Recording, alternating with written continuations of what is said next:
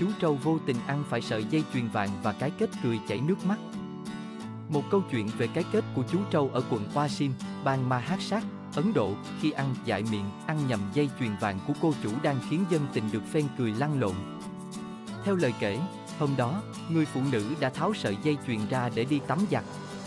Nhưng thay vì cất kín vào tủ, người phụ nữ lại đặt sợi dây chuyền trên chiếc đĩa có nhiều hạt đậu nành và vỏ lạc, đậu phộng. Không hiểu ngớ ngẩn thế nào, tắm giặt xong, cô đem đĩa thức ăn kia cho chú trâu ăn, còn mình đi làm việc nhà. Vài tiếng sau, khi nhớ ra mình đã để sợi dây chuyền vào đĩa thức ăn của con trâu.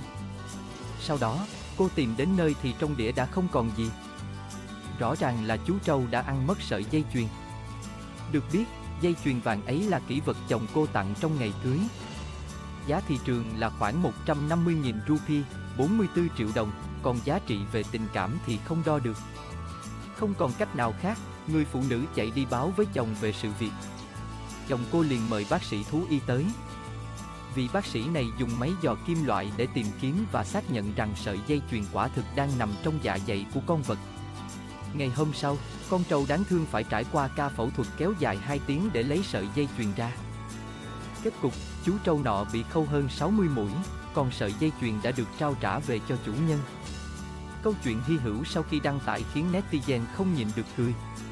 Ai nấy đều lấy làm thương cảm cho chú trâu vì vốn dĩ chẳng có lỗi gì trong sự việc nhưng không dưng lại phải vạ.